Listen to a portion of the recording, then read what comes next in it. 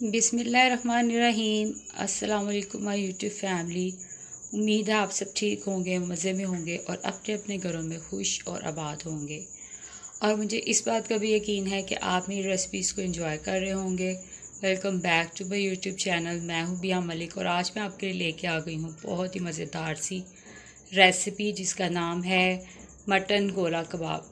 तो सबसे पहले जो लोग मेरे चैनल पर न्यू हैं, उनसे मेरी रिक्वेस्ट है प्लीज़ मेरे चैनल को सब्सक्राइब कर दें।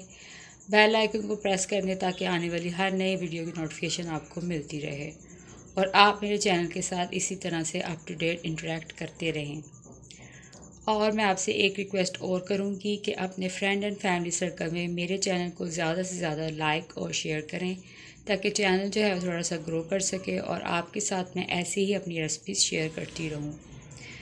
तो फिर देर नहीं करते गाइस चलते हैं आज की रेसिपी की तरफ़, जिसका नाम है मटन गोला कबाब। तो सबसे पहले मैं आपको रेसिपी के इंग्रेडिएंट्स बता देती हूँ हमेशा की तरह। यहाँ पर मैंने टू से थ्री टेबल स्पून लिया है कुकिंग ऑयल आपके सामने है। यहाँ पर मैंने कीमा लिया है मटन का, और ये है एक पाव। इसके अंदर मैंने हरी मिर्चें, अदरक लहसुन का पेस्ट जो है, वो मिक्स कर दिया है, और प्याज भी मैंने इसके अंदर मिक्स कर दिया चॉप किया हुआ। और अब ये आपके सामने है। ये है भुने हुए चनों का आटा, जो कि मैं ले रही हूँ चार से पाँच चम्मच। नमक मिर्च की क्वांटिटी आपको बता देती हूँ। यहाँ पे नमक ले रही हूँ मैं आधा चम्मच, काली मिर्च ले रही हूँ आधा चम्मच, चाट मसाला ले रही हूँ आधा चम्मच, ज़ीरा ले रही हूँ एक चम्मच, और सूखा धनिया भी ले रही हूँ मैं आधा चम्मच। यह है सीख, जिसकी मदद से हम गोला कबाब बनाएँगे, और लेमन जूस जो है वो मैं सिर्फ़ एक लीमू का ले रही हूँ। तो ये इंग्रेडिएंट्स हैं। होप आपने इसे नोट कर लिया होगा। आप चाहें तो इसका स्क्रीन ले सकते हैं। तो फिर चलते हैं मज़ेदार सी रेसिपी की तरकीब की तरफ़। सबसे पहले गाइस आपने कीमा ले लेना है और इसके अंदर नींबू के रस को अच्छी तरह से निचोड़ लेना है स्क्वीज़ कर लेना है।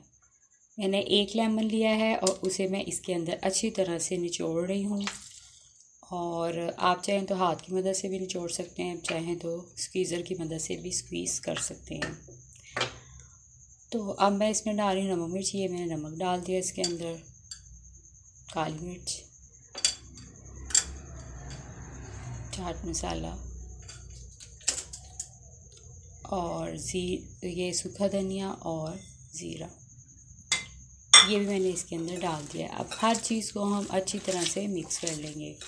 हाथ से मिक्स कर मिक्स करेंगे तो ज़्यादा अच्छा है। इससे मसाला हर तरफ़, चारों तरफ़ अच्छी तरह से मिक्स हो जाता है। तो मैं इसे थोड़ा सा और मिक्स करती हूँ। और अब मैं इसके अंदर डाल रही हूँ बेसन का चने का आटा, भुने हुए चने का आटा। वो मैंने सारे का सारा इसके अंदर डाल दिया है, जो कि मैंने लिया है तकरीबन एक प्याली। और आप इस कीमा अगर ज़्यादा ले रहे हैं तो आपने इसकी क्वांटिटी को कर देना है डबल अगर कम ले रहे हैं कीमा तो आपने इसकी क्वांटिटी को थोड़ा कम कर देना है। तो अगर आप बीफ का भी बना रहे हैं बीफ भी अगर आप यूज़ कर रहे हैं तो रेसिपी की इंग्रेडिएंट सेम है।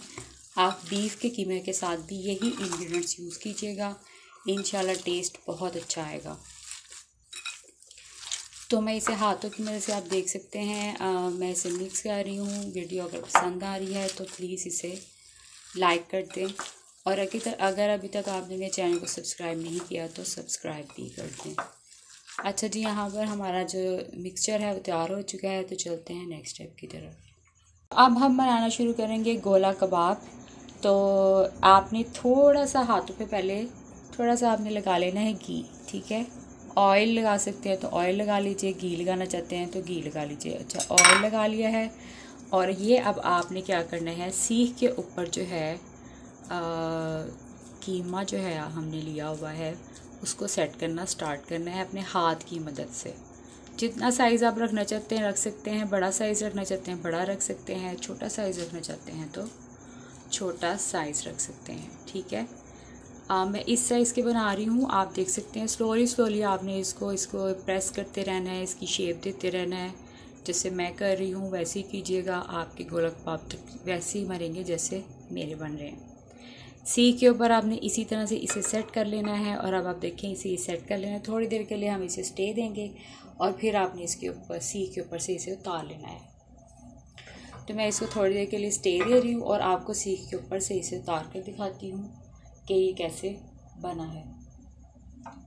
तो अब आपने क्या किया? ये मैंने सीख के ऊपर से उतार लिया है, आप देख सकते हैं, और इसे मैंने प्लेट पर रख लिया है।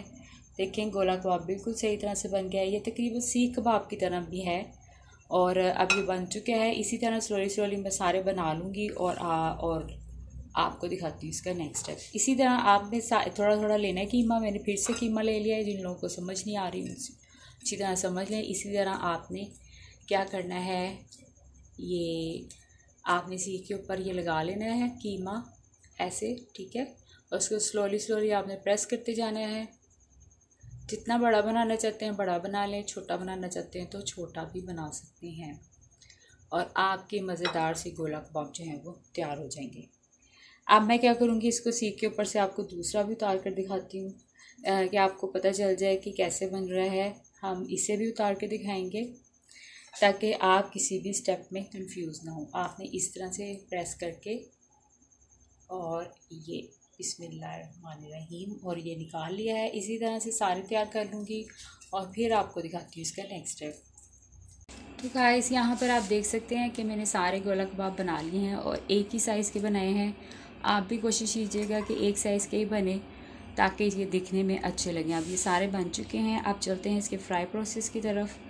तो यहाँ पर मैंने फ्लेम को ऑन कर लिया है और अपने तवे को रख दिया है गर्म होने के लिए।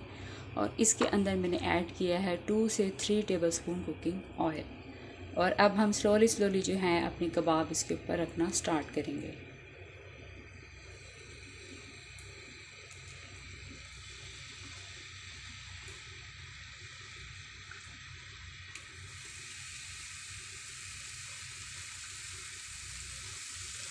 कबाबों को हमने बिल्कुल स्लोली स्लोली रखना है ताकि ये टूटे ना और बिल्कुल सही से बन जाए। और अब इसको फ्राई प्रोसेस जो है वो स्टार्ट हो चुका है और, जैसे इसकी एक साइड जो है वो लाइट ब्राउन हो जाएगी गोल्डन ब्राउन हो जाएगी तो हम इसकी साइड को चेंज कर देंगे। तो मैं इसको थोड़ा सा फ्राई करती हूँ और आपको दिखाती हूँ इसकी नेक्स्ट लुक तो यहाँ पर गाइस आप देख सकते हैं, कबाब की एक साइड जो है वो लाइट ब्राउन सी हो चुकी है और देखिए माशाल्लाह कितनी प्यारी सी लुक आई है इसकी। और कितने खूबसूरत लग रहे हैं ये देखने में। एक साइड इसकी लाइट ब्राउन डार्क ब्राउन सी हो चुकी है और मैंने चेंज कर दी है। जैसे इसकी दूसरी साइड भी लाइट ब्राउन और डार्क ब्राउन सी हो जाएगी तो मैं इसे प्लेट ऑफ़ कर लूँगी और आपको दिखाऊँगी इसकी फाइनल तो ये थी हमारी आज की ईजी सी, आसान सी रेसिपी को आपको पसंद आई होगी। आप ज़रूर ट्राई कीजिएगा और मुझे फ्रेंड सेक्शन में वीडियो फीडबैक देना मत कीजिएगा तो इसकी साइड जब गोल्डन ब्राउन होती है तो वैसे प्लेट आउट करती हूँ और आपको दिखाती हूँ इसकी फाइनल तो क्या हैं प्लेटिंग की तरफ़। तो फाइनली गाइस यहाँ पर मैंने अपने गोला कबाब को जो है वो प्लेट आउट कर लिया। आप देख सकते हैं इसकी कितनी खूबसूरत सी, मज़ेदार सी लुक आई है। और ये देखने में भी जितने मज़ेदार लग रहे हैं, उतने ही खाने में भी हैं। मुझे उम्मीद है कि आपको मेरी आज की रेसिपी पसंद आई होगी। अगर रेसिपी पसंद आई है तो लाइक करना और शेयर करना और मेरे चैनल को सब्सक्राइब करना मत भूलिएगा। Please like share and subscribe my channel and press the bell icon ताकि आपको मेरी आने वाली हर नई वीडियो की नोटिफिकेशन मिलती रहे। और मैं इसे सर्व कर रही हूँ ग्रीन चटनी यानी पुदीने की चटनी के साथ सर्व कर रही हूँ और साथ में मैंने हमेशा की तरह कोका कोला लिया है। अच्छी लगती है, इसके साथ और मज़ा भी आता है। इसे आप गरम गरम की रोटियों के साथ अगर सर्व करेंगे तो और भी ज़्यादा अच्छी लगेगी और और भी ज़्यादा आपको मज़ा आएगा। इसे खाइए और बनाइए और अपने प्यारों के साथ इसको शेयर कीजिए और ईद को अच्छी तरह से सेलिब्रेट कीजिए।